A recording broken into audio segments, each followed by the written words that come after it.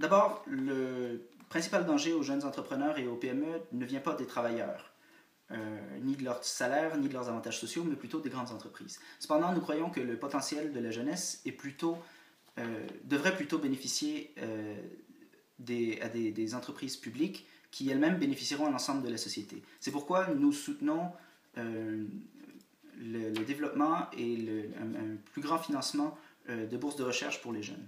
Euh, aujourd'hui, la jeunesse fait face à un futur des plus noirs depuis la Deuxième Guerre mondiale. Euh, à cet effet, le gouverneur de la Banque du Canada et un candidat euh, pour le Parti conservateur ont conseillé les jeunes de simplement travailler pour des stages non payés et d'habiter chez leurs parents. D'autres ont aussi suggéré qu'ils s'engagent dans l'armée.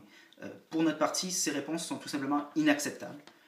Et il n'est pas plus réaliste de croire que ce problème sera euh, résolu par euh, des jeunes qui créeront leurs leur propres euh, entreprises.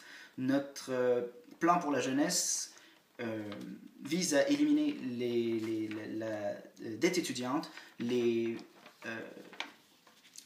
frais d'éducation et mettre fin à la privatisation et marchandisation des universités et des cégeps.